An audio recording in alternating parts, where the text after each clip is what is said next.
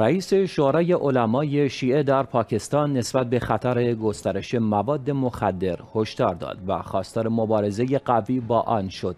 ساجد علی نقوی رئیس شورای علمای شیعه پاکستان امروز چهارشنبه نسبت به خطرات شیوع مواد مخدر و قاچاق انسان به دلیل اثرات منفی آن بر جوامع بشری هشدار داد. وی در بیانیه مطبوعاتی گفت جوامع امروزی به دلیل گسترش باندهای قاچاق و مواد مخدر عمدتا جوامع مسلمان را برای تحقیر و تحت سلطه خود درآوردن مورد هدف قرار می‌دهند.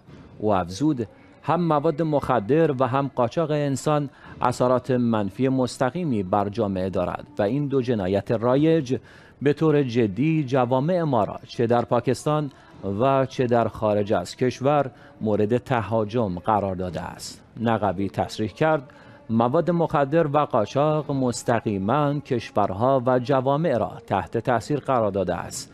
به طوری که مقابله با چنین پدیده های مرگباری برای حفاظت از نسل و جوانان ما نیازمند توجه جدی است.